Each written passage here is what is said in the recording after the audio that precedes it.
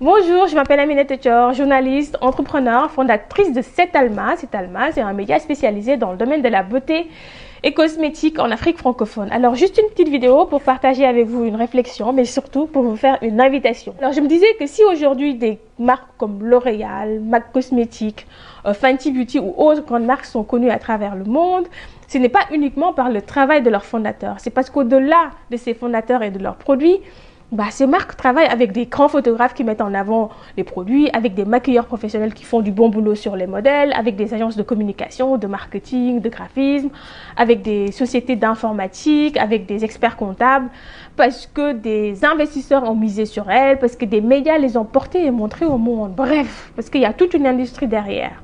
Et c'est quoi cette industrie? C'est le fait que tout ce beau monde travaille ensemble. Et je me dis qu'il faudrait la même chose pour accompagner aujourd'hui le boom qui existe dans le domaine de la beauté et cosmétique en Afrique francophone.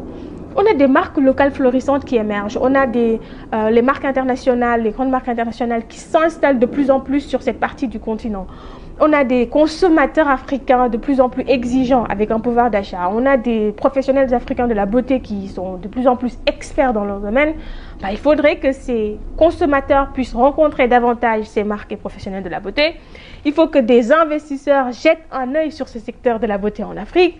Il faut que les autres entrepreneurs se retournent enfin vers le domaine de la beauté, donc les logisticiens, enfin les, entreprises de la logistique, de l'informatique, de la communication. Il faut que tout ce beau monde se retourne enfin vers le secteur de la beauté et cosmétique pour qu'on construise ensemble une industrie de la beauté. Et c'est ce que je vous propose de faire le 30 novembre pour Dakar à 14h. Mon équipe et moi, nous allons vous démontrer pourquoi il faut investir aujourd'hui et pas demain dans la cosmétique en Afrique. Consommateurs, investisseurs, entrepreneurs du domaine de la beauté, entrepreneurs du domaine de la logistique, informatique, communication, marketing, expertise comptable, tous, on a des choses à faire ensemble dans ce secteur à fort potentiel. Je vous dis donc au 30 novembre au Pullman Dakar. À bientôt.